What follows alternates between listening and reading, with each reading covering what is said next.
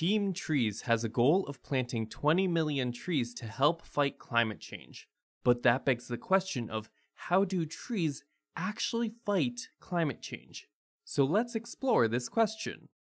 As you may know, the main contributor to climate change is the historically high level of carbon dioxide, or CO2, in the atmosphere, which is a result of burning fossil fuels.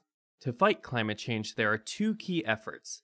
The first is to reduce the quantity of fossil fuels burnt, and the second is to find ways to take the CO2 already released in the atmosphere and store or sequester it. Now, if only there were a way for a machine or maybe an organism that could take in CO2 and store it. Well, that's where planting trees comes into play. When you look at a massive 80 foot tree, what you're really looking at is a massive structure that is mostly just carbon, oxygen, and hydrogen. Let's take a look at the trunk of this tree. Aside from water, a lot of the mass inside the trunk is composed of cellulose, which is made of long chains of carbon, oxygen, and hydrogen. All of these atoms circled here are carbon, and every single one of these atoms of carbon was once CO2 in the atmosphere. As a tree grows from a small sapling into a massive tree, it's fighting climate change by removing tons of CO2 in the atmosphere, and then using it as a key building block in every single one of its cells.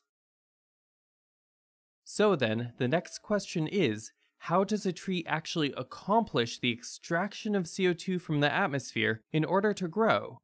Well, the super short explanation is photosynthesis.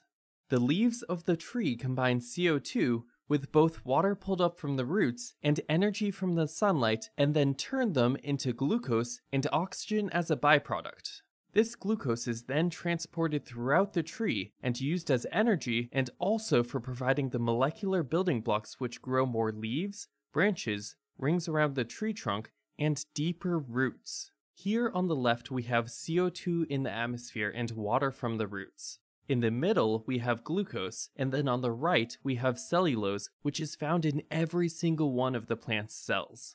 This process of turning CO2, water, and energy from the sun into glucose and oxygen, and then turning glucose into cellulose and growing larger and larger until it is a massive tree, is what trees do best. And you can see how all of these carbon atoms in every plant cell of the tree once came from CO2 in the atmosphere. So then, if we want to remove CO2 from the atmosphere to help curb climate change, and knowing that every tree is just a massive structure created from CO2, light, and water, a key solution is to plant millions of trees. And that's where you come into play. Team Trees is asking you to contribute to the Arbor Day Foundation to help plant 20 million trees by 2020. $1 will plant one tree, so every donation helps take a look at the link below and join the effort.